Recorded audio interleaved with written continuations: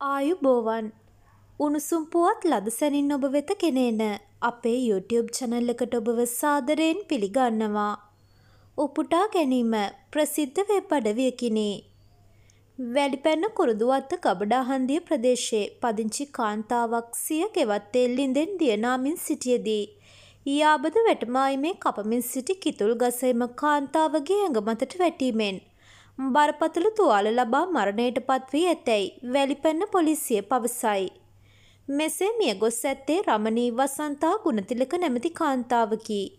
මෙම මරණය සම්බන්ධයෙන් එම කිතුල්ගස් අනාරක්ෂිතව කැපීමට කටයුතු කළ පුද්ගලින් තිදෙනෙකු වැලිපැන්න පොලිසිය මගින් අත්අඩංගුවට ගත් බව පවසනවා.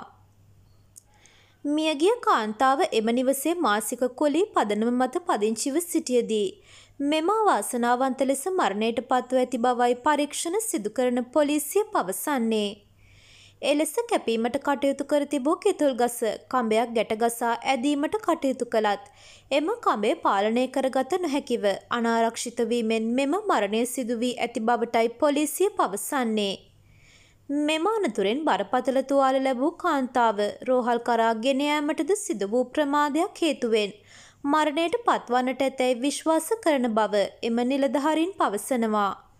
වැලිපැන්න පොලිසිය ස්ථානාධිපති ආනන්ද සිල්වා මහතාගේ උපදෙස් පරිදි නිලධාරීන් කණ්ඩායමක් පරීක්ෂණ සිදු කරනු ලබයි.